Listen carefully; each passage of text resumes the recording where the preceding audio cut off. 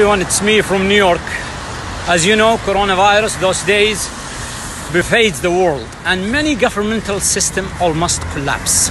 I share this video with all people across the globe and I'm sure it will redefine our comprehension about what does human rights mean. And here, United Nations, where many independent experts, special rapporteurs highlights the human rights violations and naming the countries that violated the human rights. Amid this pandemic, let's go over the humanitarian work and see how countries responded to their nation's need.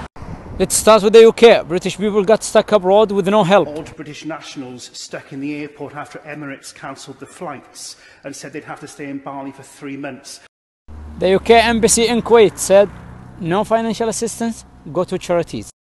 There's no fruit, there's no vegetables. You just need to stop it. Let's move into Canada. Businesses call for subsidies, and the outside, many Canadians got stuck abroad. And by the way, the Canadian government last year arranged the travel for Saudi teenager fleeing from her family. Thousands who are stuck abroad looking for help from the government to get back to Canada. There's about a thousand Canadians that are here struggling to get back, you know, trying to find ways, reaching out, and nobody's willing to help. Okay, let's move on to Spain. They are asking for humanitarian assistance. Necesitamos ayuda. Leganés se está muriendo. No hay sitio en el hospital. Esto es una vergüenza a nivel nacional. I'm, I'm in from Lyon, France, in the line in front of the supermarket. And now I'm here. Wow.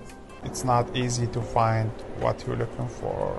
In the US, let's start with Sanders' tweet about human rights. This system, the system of capitalism where profit matters more than people, is so damn sick.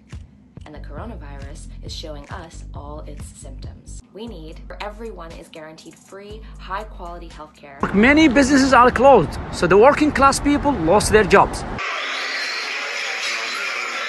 Gloves and masks in the United States are sold out, and Tennessee tells doctors to use diapers and goggles as a protection. Last year, 36 countries issued joint statement about Saudi Arabia and they expressed their concerns about human rights and some of these countries are that I mentioned above.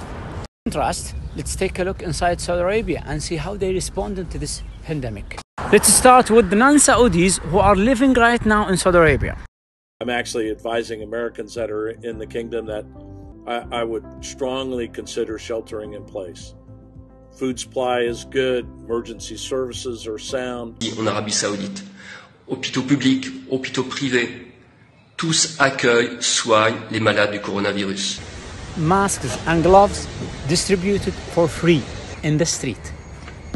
All Saudis outside the kingdom hosted, isolated in comfort. See what our Saudi government provide us with five stars hotel full board free of charge. 코로나 때문에 힘들었지만 그렇지만 사우디아라비아 대사식관들 아주 감사드립니다. I am Saudi. I got stuck in Moscow and my government provided accommodation at five-star hotel with the three full meals. I'm Saudi. I get stuck in New York. My government for provide me free food and five-star hotel. If you look at healthcare, if you look at life expectancy, we're not. We're looking if at you look, human that's all rights. human I know rights. you. The government will cover 60% of the private sector salaries. Top of that, Saudi Arabia granted free treatment for patients who got sick from coronavirus, whether are Saudis or non-Saudis.